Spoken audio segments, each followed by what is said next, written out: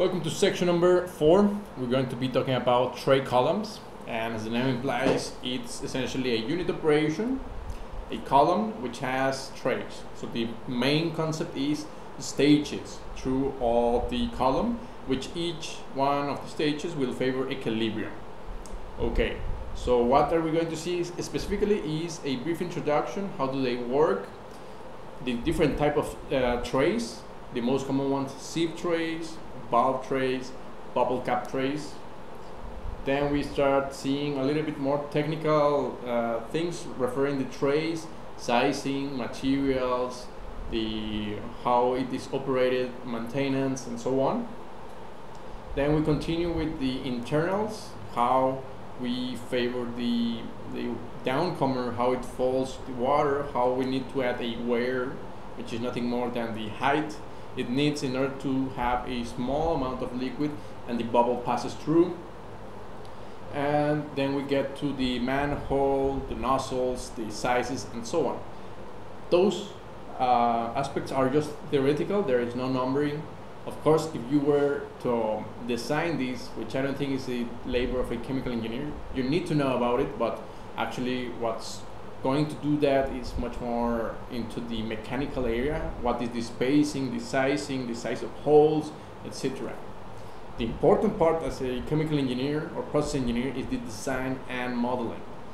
How are you going to model it? Counter current, of course, we've seen that before, it's very important. Uh, we're going to see first for dilute models and then for concentrated models. We're going to start with the operation line.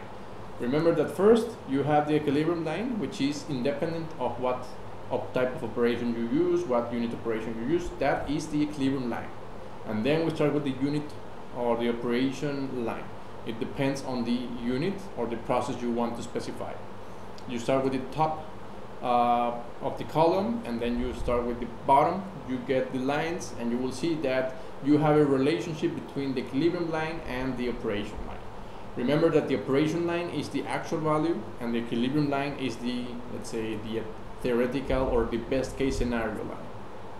Then we will see how to get the minimum solvent flow rate, that is, how much solvent do we need in order to not uh, have excess solvent.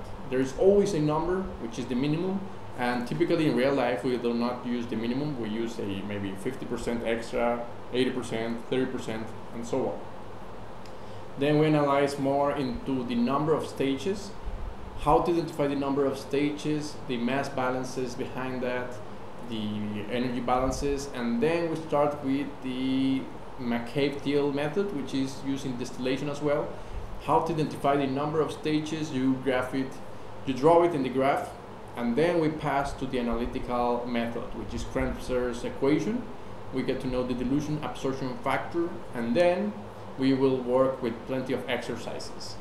Case scenario, how to design a packed column, maybe pressure drops, uh, velocity profiles, and so on. The main idea is that you get most of the tray column uh, designing and calculations.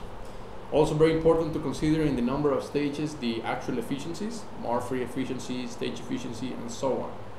At the end of the section, I have two dynamic uh, simulations so you can compare, uh, let's say, easier the what if scenarios. What if we change the inlet concentration?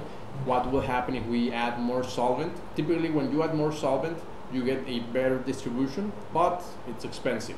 So you cannot change that independent of money.